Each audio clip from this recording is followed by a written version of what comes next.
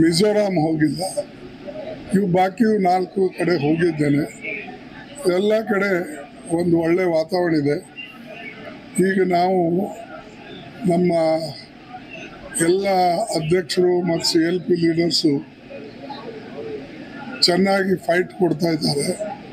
ಆದರೆ ಇಂಥ ಸಂದರ್ಭದಲ್ಲಿ ನಾಮಿನೇಷನ್ ಹಾಕುವಾಗ ನಾಮಿನೇಷನ್ ನಡೆದಿವೆ.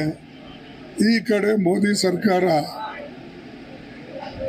ಅಲ್ಲಿ ರೇಡ್ ಮಾಡೋದು ಇಡಿ ಹಿಡ್ಕೊಂಡು ಅಧಿಕಾರಿ ನಮ್ಮ ಕಾಂಗ್ರೆಸ್ ಅಧ್ಯಕ್ಷರ ಮೇಲೆ, ಮುಖ್ಯಮಂತ್ರಿಗಳ ಮಗನ ಮೇಲೆ ಮತ್ತು ಬೇರೆ ಮಂತ್ರಿಗಳ ಮೇಲೆ ಅವರು ಇವತ್ತು ಇಡಿ ದಾಳಿಗಳನ್ನು ನಡೆಸಿ ನಮ್ಮ ಕಾರ್ಯಕರ್ತರಿಗೆ ಮತ್ತು ಮಂತ್ರಿಗಳಿಗೆ ಡಿಮೋರಲೈಸ್ ಮಾಡ್ತಕ್ಕಂಥ ಕೆಲಸ ಅವರು ಮಾಡ್ತಾ ಇದ್ದಾರೆ.